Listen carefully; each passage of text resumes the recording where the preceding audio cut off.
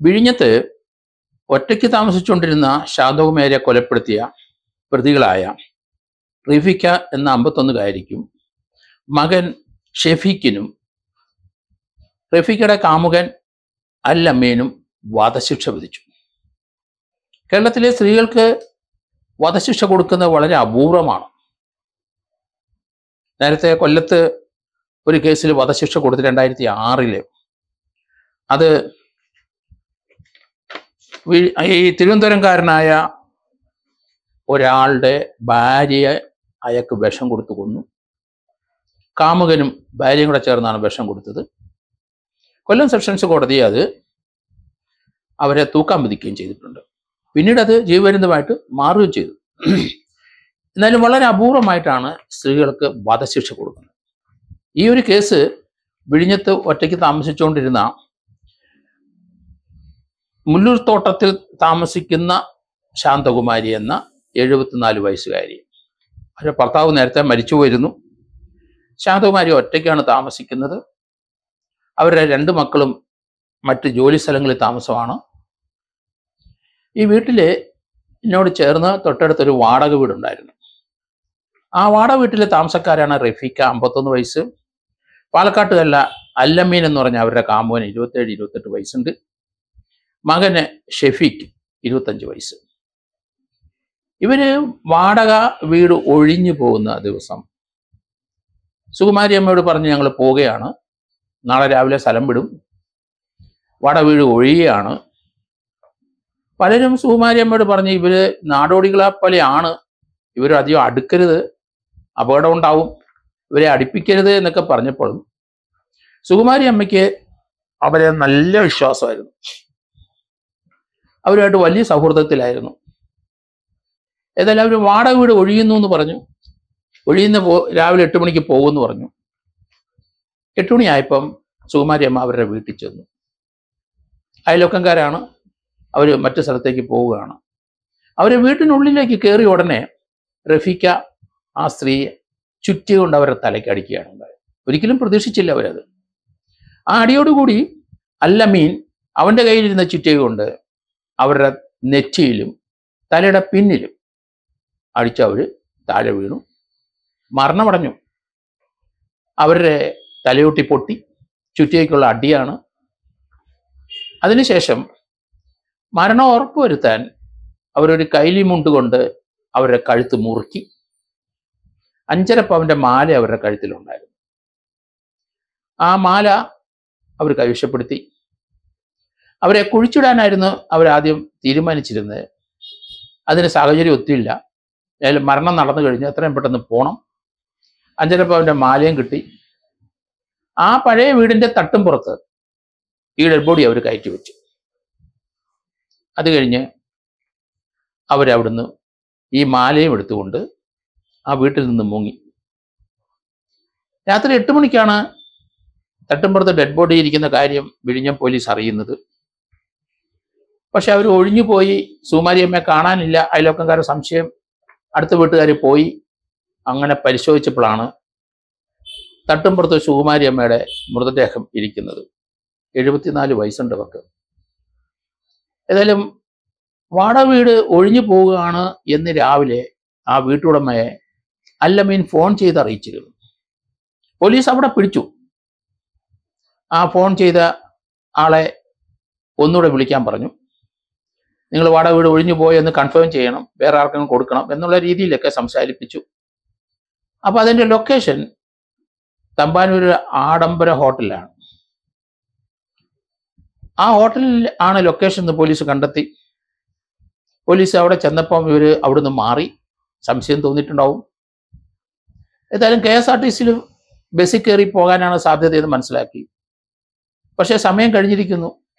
ആഡംബര ഹോട്ടലിൽ മുറി വിട്ട സമയം നോക്കി. അതിനുശേഷം അവർ ഇവർ പാലക്കാട്ടേക്ക് പോകാനുള്ള സാധ്യത കൂടുതൽ കണ്ട് police K S R T C ബസ്സുകളെല്ലാം check ചെയ്യാൻ തുടങ്ങി. കഴക്കൂട്ടത്ത് ചെക്ക് ചെയ്ത സമയത്ത് ഇവർ മൂന്ന് പേരും ഒരു K S R T C ബസ്സിൽ ഇരിക്കുന്നത് കണ്ടെത്തി. അവിടെയാണ് പ്രജീഷ് എന്ന എസ് എച്ച് ഒ ഇൻസ്പെക്ടറെ കഴിവ്. കാരണം സംഭവം നടന്നിട്ട് ഏകദേശം അവർ രാത്രി ഏതാണ്ട് പന്ത്രണ്ടോളം മണിക്കൂർ കഴിഞ്ഞ ശേഷമാണ് പോലീസ് അവിവരം വിവരം അറിയുന്നത്. പ്രതികൾക്ക് അവരുടെ ഡെസ്റ്റിനേഷനിൽ എത്താനുള്ള സമയമായി. എന്തായാലും ആ കേസിന്റെ അന്വേഷണം ആ സി ഐ കൃത്യമായി നടത്തി. എവിഡൻസ് എല്ലാം കളക്ട് ചെയ്തു. അതോടൊപ്പം തന്നെ സമ്പത്ത് എന്ന് പറഞ്ഞൊരു എസ് ഐ കൂടെയുണ്ട്. അതുപോലെ തന്നെ മറ്റു ചില എസ് ഐമാരും ചില വനിതാ പോലീസും അതുപോലെ സിവിൽ പോലീസ് ഓഫീസർമാരൊക്കെ സഹായിക്കാൻ ഇറങ്ങി. എല്ലാവരും കൃത്യമായ അന്വേഷണത്തേക്ക് നീങ്ങി. അങ്ങനെയാണ് ആ കേസ് ഡിറ്റക്ഷൻ ആകുന്നത്. ഇതിനു മുമ്പ് നേരത്തെ അവർ വിഴിഞ്ഞത്ത് താമസിച്ച മറ്റൊരു വീടിന്റെ അവിടെ ഇതുപോലെ ഒരു കൊച്ചുകുട്ടിയെ തലക്കടിച്ച് കൊന്നിട്ടുണ്ട്.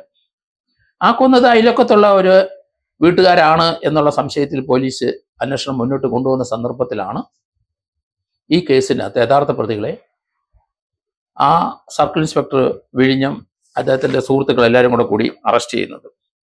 ബ്രിജീഷ് ശശി എന്ന് പറഞ്ഞാൽ അദ്ദേഹം നല്ലൊരു ഇൻവെസ്റ്റിഗേറ്ററാണ് വളരെ സ്മാർട്ടാണ് അദ്ദേഹത്തിനൊപ്പം സമ്പത്തും വിനോദം പറഞ്ഞ സെയ്മാരുണ്ടായിരുന്നു സെൽവരാജ് സാബു രാമു എന്നൊക്കെ നല്ല അന്വേഷണ ഉദ്യോഗസ്ഥന്മാരായ പോലീസ് ഉദ്യോഗസ്ഥരുണ്ടായിരുന്നു.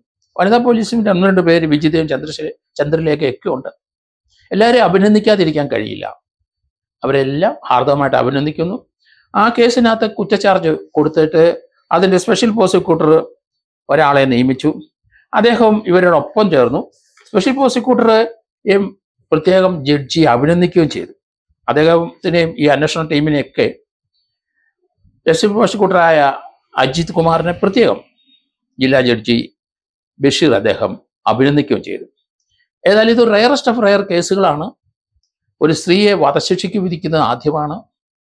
നെയ്യാറ്റിങ്ങര അഡീഷണൽ ജില്ലാ ജഡ്ജി ആണ് ഈ കേസിന്റെ വാദ വാദങ്ങൾ കേട്ടത്. കുറ്റച്ചാർജിനനുസരിച്ചുള്ള തെളിവുകൾ പോലീസ് ശേഖരിച്ച് സ്പെഷ്യൽ പ്രോസിക്യൂട്ടർ ശേഖരിച്ച് കോടതിയിൽ ഹാജരാക്കിയതും അദ്ദേഹം മനസ്സിലാക്കി. ജില്ലാ ജഡ്ജി എ എ ബഷീറിന്റെയാണ് ഈ ഉത്തരവ്. മൂന്ന് പേരെയും വധശിക്ഷയ്ക്ക് അദ്ദേഹം വിളിച്ചു. അതിക്രൂരമായ ഒരു കൊലപാതകമാണെന്ന് അദ്ദേഹം രേഖപ്പെടുത്തുകയും ചെയ്തു. ആ കോടതിയിൽ രാവിലെ വന്നു കഴിഞ്ഞപ്പം തന്നെ റഫീഖയ്ക്ക് കാര്യം മനസ്സിലായി. അവർ വളരെ ഭീതിയോടെയാണ് കോടതിയിൽ ഇരുന്നെന്നാണ് പറയുന്നത്. മകൻ ഷെഫീഖിനും അതേ ഭീതിയുണ്ട്. എന്നാൽ അല്ലമ്മീൻ എന്ന അവരുടെ കാമുകന് അയാൾക്ക് യാതൊരു ഭീതിയില്ല കൂളായിട്ട് പോലെ ആ കോടതി കോടതിയിൽ ഇരുന്നു എന്നാണ് മനസ്സിലാക്കുന്നത്. ഭീതിയുടെ നിഴലിൽ തന്നെയായിരുന്നു അമ്മയും മകനും. ഏതായാലും അവരുടെ ഭീതി ഒരു വധശിക്ഷ വരും എന്ന് തന്നെ ആയിരിക്കണം. അതായിരിക്കണം ആ ഭീതി. എന്തായാലും വധശിക്ഷ കോടതി ഉച്ചയ്ക്ക് ഒന്നര മണിയോടുകൂടി പറഞ്ഞു. അതോടുകൂടി അവർ രണ്ട് അമ്മയും മകനും പൊട്ടിക്കരഞ്ഞു. എന്തായാലും അഞ്ചര മാല പോലീസ് കൃത്യമായിട്ട് റെക്കവർ ചെയ്തിട്ടുണ്ട്. ഇത് കേരളത്തിലെ അപൂർവമായ അപൂർവമായ ഒരു അപൂർവത്തിൽ അപൂർവമായ ഒരു കേസ് തന്നെയാണ് എന്ന് കോടതി നിരീക്ഷിച്ചിട്ടുണ്ട്. അതിനകത്ത് മുപ്പത്തിനാല് സാക്ഷികൾ മൊഴി കൊടുത്തു. അറുപത്തൊന്നോളം രേഖകളുണ്ടായിരുന്നു. എം ഒ മെറ്റീ മെറ്റീരിയൽ ഒബ്ജക്റ്റ് മുപ്പത്തിനാലെണ്ണം ഉണ്ടായിരുന്നു. എന്തായാലും സ്പെഷ്യൽ പ്രോസിക്യൂട്ടറെയും ആ അന്വേഷണ ഉദ്യോഗസ്ഥന്റെ ശ്രമം അത് വളരെയധികം കഠിനമായിരുന്നു. അന്വേഷണ സമയത്തും അതിന്റെ വെളികളെ അറസ്റ്റ് ചെയ്ത സമയത്തും തെളിവുകൾ ശേഖരിക്കുന്നതിനും ശാസ്ത്രീയമായ തെളിവുകൾ ശേഖരിക്കുന്നതിനും ആ ചുറ്റിക കണ്ടെത്തുന്നതിനും അതുപോലെ തന്നെ ആ അവരെ തട്ടുമ്പുറത്ത് ഈ ഡെഡ് ബോഡി കൊണ്ട് സൂക്ഷിച്ചതും അത് അവിടെ കുഴിച്ചിടാൻ തന്നെ നേരത്തെ തീരുമാനിച്ച് നടക്കാതെ പോയ വിവരങ്ങളും ആ വീടിന്റെ ഉടമസ്ഥന്റെ സഹായവും പോലീസിനുണ്ടായിട്ടുണ്ടായിരുന്നു. കാരണം ഇവർ വീട് വിട്ടു പോകുന്നു എന്നാൽ അല്ലമ്മയും വിളിച്ചപ്പം അതേ നമ്പറിലേക്ക് പോലീസ് വിളിപ്പിച്ചു. അങ്ങനെയാണ് പോലീസ് അവരുടെ ലൊക്കേഷൻ മനസ്സിലാക്കിയത്. അത് വളരെ ബുദ്ധിപൂർവമായ ഒരു ഒരു നീക്കമായിരുന്നു. അതിന്റെ പുറത്താണ് പ്രതികളെ അറസ്റ്റ് ചെയ്യാൻ സാധിച്ചത്.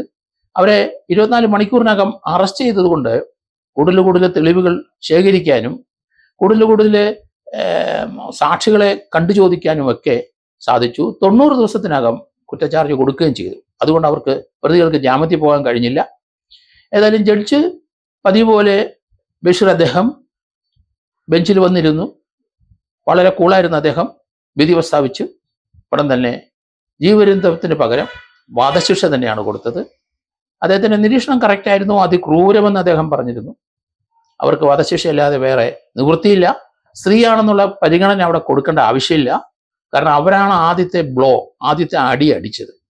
എന്തായാലും ആ സാധാരണ നമ്മൾ കേട്ടിട്ടുണ്ട്. ഒരു ജഡ്ജി ഒരു വധശിക്ഷ വിധി വിധിച്ചാൽ അദ്ദേഹത്തിന്റെ കയ്യിരിക്കുന്ന പേന ഓഫീസിൽ പോയിട്ട് അത് കുത്തിയൊടിച്ച് കളയും എന്ന് നമ്മൾ കേട്ടിട്ടുണ്ട്. ഇവിടെ ഇദ്ദേഹം കുത്തി കുത്തിയൊടിച്ച് കളഞ്ഞിട്ടുണ്ടാവാം എന്ന് ഞാൻ കരുതുന്നു.